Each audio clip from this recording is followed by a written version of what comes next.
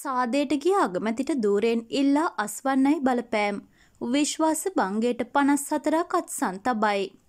Lockdown නීති කඩ කරමින් සාදයකට සහභාගී වූ බවට තහවුරුවීමත් සමග දූරයෙන් ඉල්ලා අස්වන ලෙසට බ්‍රිතාන්‍ය අග්‍රාමාත්‍ය බොරිස් ජොන්සන්ට එල්ලවන බලපෑම ඉහළ ගොස් තිබෙනවා.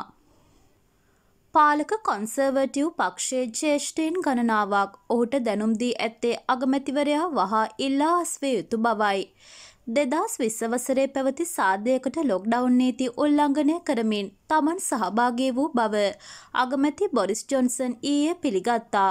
ඒ සම්බන්ධයෙන් සමාව අයද සිටින බවයි අග්‍රාමාත්‍යවරයා සඳහන් කළේ.